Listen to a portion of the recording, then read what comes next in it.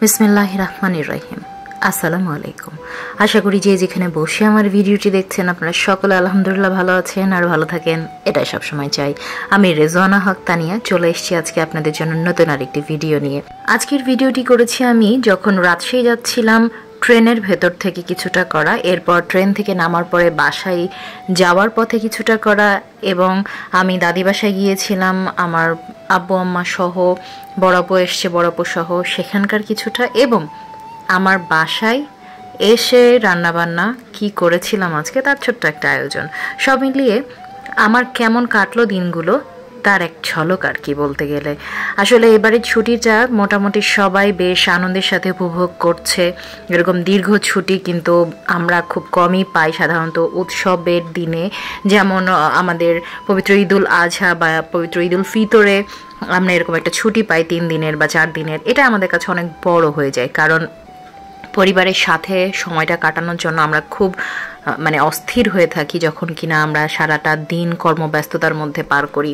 আবার অনেকে মনে করি যে হ্যাঁ এত কর্ম ব্যস্তময় জীবন পার করছি, কখন একটু রিল্যাক্সের সময় আসবে, কখন একটু ছুটি পাবো, ঘুরতে যাব। এটাও ভাবে। তো আমি যে বললাম যে, আমি ট্রেন থেকে নামার পরে যখন বাসায় যাচ্ছিলাম, আমার বাসার ঠিক আগে এই জায়গাটার মধ্যে কাজ হচ্ছিল রাস্তায়। এবং আমার ভিডিওটা অন ছিল, কারণ এই জায়গায় আসলে আমি ভিডিও অন করি। তো এইখানে দেখতে পাচ্ছেন রাস্তায় বালু নামাচ্ছে। ট্রাক থেকে।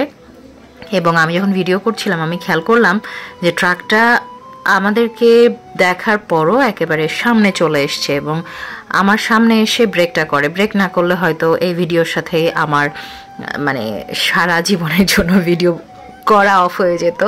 আসলে হায়াত মতো আল্লাহর হাতে যে কয়দিন পৃথিবীতে আছি, সুস্থ সবলভাবে যেন থাকতে পারি, সেই কামনাই করি সব সময় আমাদের দাদি বাসায় এই পুকুরটা খুবই প্রসিদ্ধ এবং পুকুরের পাড় থেকে আকাশটা দেখতে সুবহান আল্লাহ কতটা চমৎকার লাগছে। আমাদের পৃথিবী আসলে অনেক সুন্দর আল্লাহ সৃষ্টি, আল্লাহর রহমতের আসলে কোনো শেষ নাই।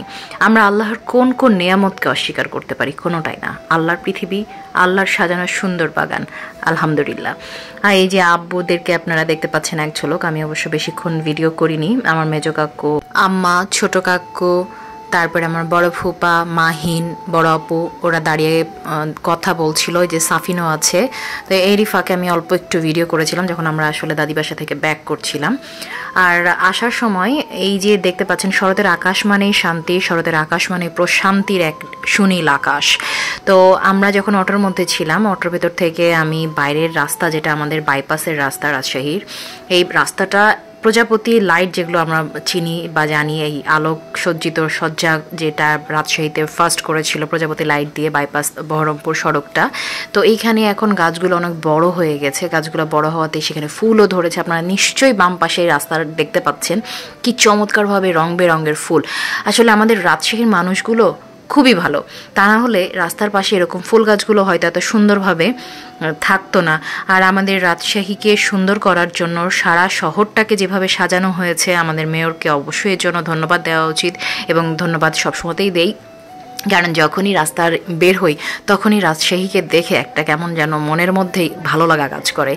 সাজানো গোছানো সংসার যেমন সবার কাম্য, সাজানো গোছানো সংসারের সাথে সাথে আমি যে জায়গায় বাস করছি বা আমার শহরটাও একটা সাজানো গোছানো পরিষ্কার, পরিচ্ছন্ন শহর হোক, সেটা যেন সবারই কাম্য হয়। তো এটার পুরোটাই একটা প্রতিফলন ঘটে বা প্রতিফলন দেখতে পাই আমি রাজশাহীর মধ্যে। রাজশাহী শহরটাকে সাজিয়ে গুছিয়ে এত চমৎকারভাবে উপস্থাপন করে রেখেছে জনগণের সামনে যে যে কেউই আসলে রাজশাহীর এত সুন্দর সৌন্দর্যকে দেখে মুগ্ধ হতে বাধ্য।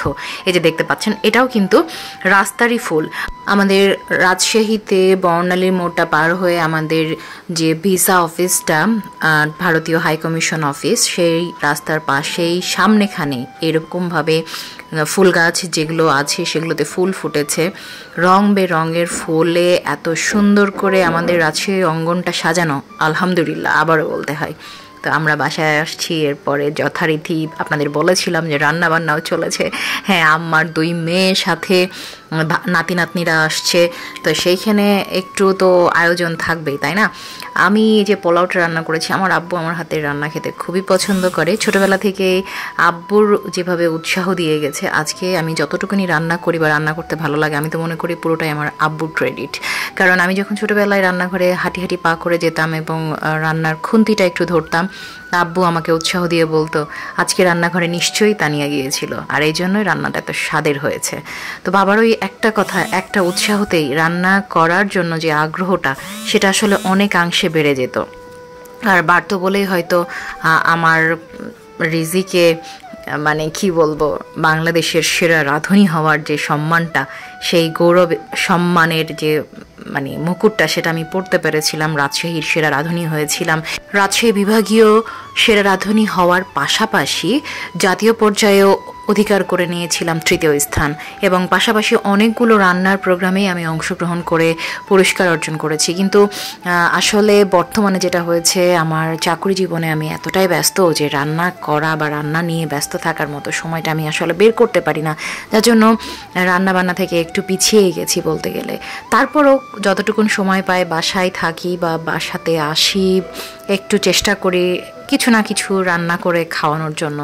আর এই যে বললাম না, আব্বুর অনুপ্রেরণা, আমি তো সবসময় বলি, যা কিছু আমি এখন পর্যন্ত অর্জন করেছি তা আমার বাবা মার জন্য এবং বাবা মার দোয়া সেই সাথে আল্লাহ পাক চেয়েছেন এবং আমার একান্ত প্রচেষ্টা। তো আমি মনে করি, কোনো মানুষ যদি কোনো কিছু অর্জনের জন্য একনিষ্ঠভাবে চেষ্টা করে, তো সে সফলতা অর্জন করতে বাধ্য।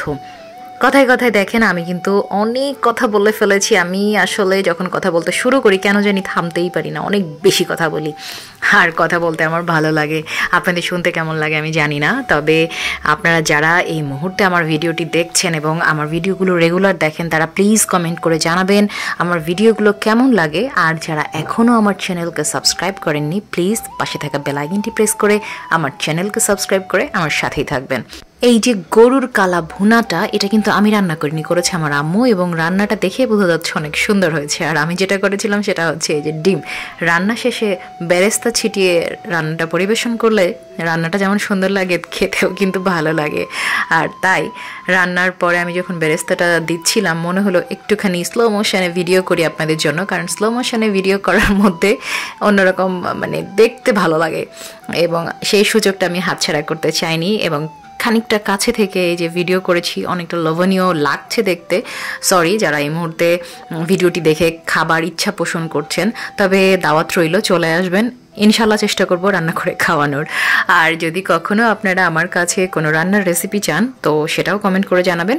আমি চেষ্টা করব সেটা রান্না করে আপনাদের সাথে শেয়ার করার জন্য। এর বেশি তো পারব না, তবে দাওয়াত আবারও রইল, আসলে খাওয়াবো ইনশাল্লাহ তো যে যেখানে থাকেন, ভালো থাকেন, যে কথাটা আমি সবসময়তেই প্রতিটা ভিডিওতেই বলার চেষ্টা করি, যে পরিবার পরিজনকে নিয়ে ভালো থাকার চেষ্টা করবেন, কিছুটা সময় পরিবারকে দিবেন। কারণ পরিবারের এই মানুষগুলোর জন্যই তো আমাদের এত কিছু।